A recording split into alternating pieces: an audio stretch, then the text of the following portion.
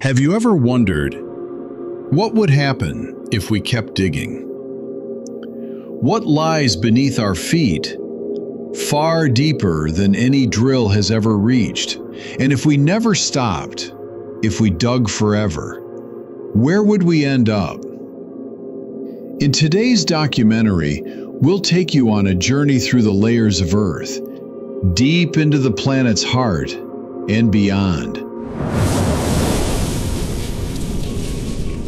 A journey through science, imagination, and the very limits of human understanding. Let's dig in. Our journey begins with a single shovel.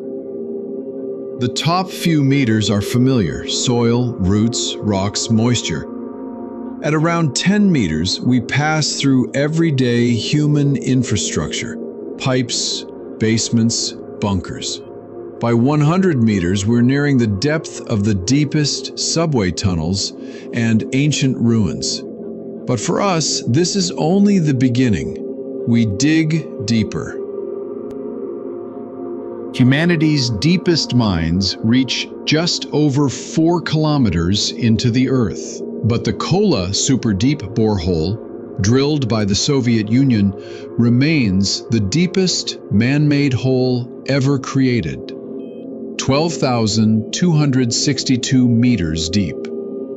Down there, the temperature exceeds 180 degrees Celsius. Rock behaves more like plastic, and drilling equipment begins to fail. The crushing pressure and searing heat make continued digging almost impossible. But in our thought experiment, we don't stop. We imagine technology powerful enough to go much farther. At about 40 kilometers down, we reach the Mohorovičić discontinuity, the boundary between the Earth's crust and the mantle. The crust ends and the mantle begins. Here, temperatures rise rapidly between 1,000 degrees Celsius and 3000 degrees Celsius. The mantle isn't quite liquid, but it flows very slowly, like thick tar. Tectonic plates float atop this sea of rock. This is a place no drill has ever reached, but we press on.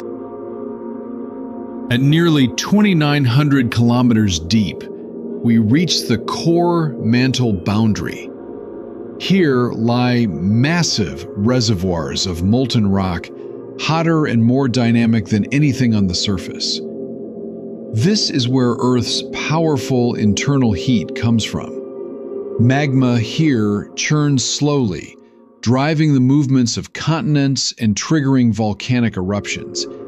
Even here, our hypothetical tunnel continues to push downward into the unknown. Between 2,900 and 5,100 kilometers deep lies the outer core, a vast ocean of molten iron and nickel. It is here that Earth's magnetic field is generated. Flowing metal conducts electric currents, which in turn produce a magnetic shield that protects life on the surface from solar radiation. The pressure is unimaginable, the heat almost unbearable. This is a place beyond anything our machines can currently withstand. But we keep digging at around 6,371 kilometers, we reach the exact center of our planet, the inner core, a massive ball of solid metal, as hot as the surface of the sun, nearly 6,000 degrees Celsius.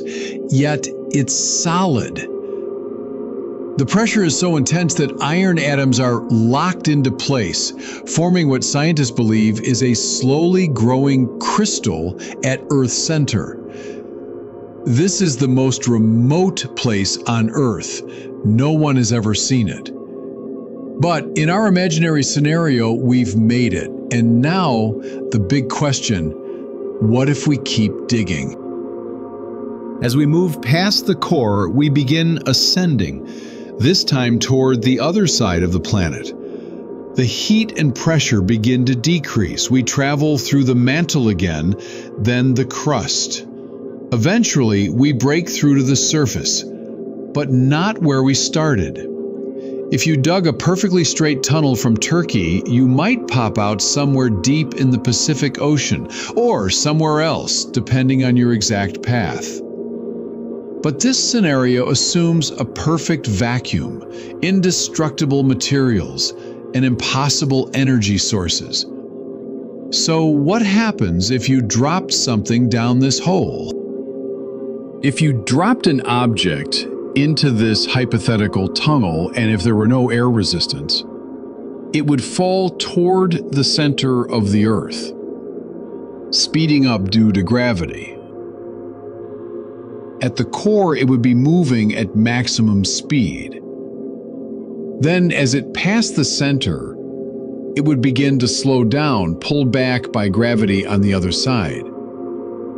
If no energy was lost, it would pop out the other end, momentarily stop, then fall back again. This is known as simple harmonic motion. The object would oscillate back and forth through the tunnel forever, unless friction or air resistance slowed it down.